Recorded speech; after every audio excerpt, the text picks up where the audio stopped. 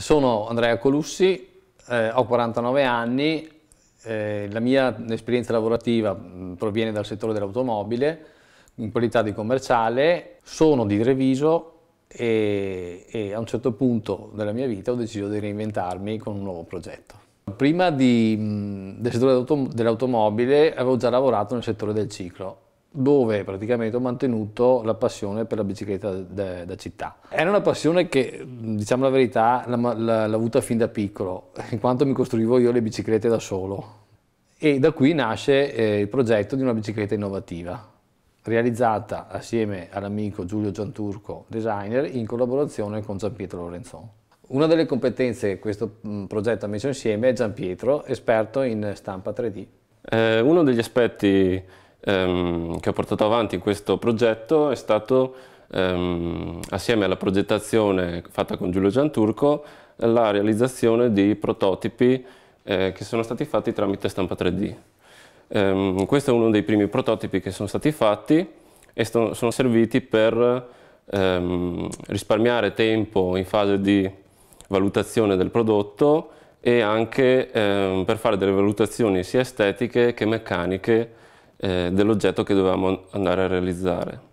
È una bicicletta eh, smontabile realizzata in alluminio e carbonio, quindi un mix di, di materiali. Il progetto nasce, proprio come prima, prima idea, nel giugno del 2013. Nel corso di questo tempo sono stati realizzati diversi prototipi.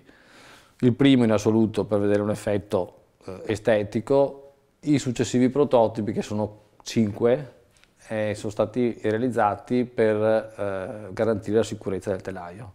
Telaio eh, in alluminio, elementi eh, in alluminio smontabili ricavati da barre piene, lavorati a CNC che è controllo numerico computerizzato e forcelle in carbonio. Eh, I modelli donna, in questo caso ho in mano il telaio del modello donna, poi eh, ci sarà il modello uomo. Verranno prodotti in diverse taglie, due per la donna, tre per, eh, per l'uomo e eh, verranno anche prodotti in eh, 2-3 versioni. Nel, nel, completare il progetto eh, si è deciso di dare mh, importanza anche all'imballo.